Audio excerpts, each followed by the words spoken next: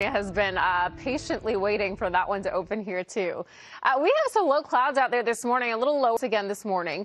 It's already 71 in Lancaster, though, so this is just a little indicator of how hot it's going to get for those desert spots. 61 in Apple Valley, though, but Palm Springs already 82 degrees, so pressure is in place. But then as we head into your Wednesday and Thursday, we're going to start to drop temperatures because of this low pressure system that's to the south of us and beneath us is going to start to move across as we head into Wednesday, into Thursday. That's really going to start with that onshore push again as well.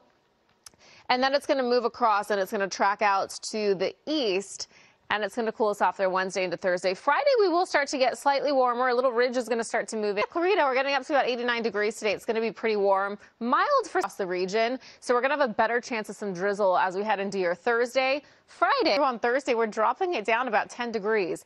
Very mild afternoon. We're going to have more clouds out there and a better chance of some drizzle. Thursday, cooler, and then we'll get back to some lower to mid 90s by the end of the week and into the weekend. We are going to have some winds pick up, though, as we head into your Wednesday, Thursday. That will take us into the weekend as well. And so some of these spots where we do have those hot temperatures, uh, we do have some fire concerns again. All right.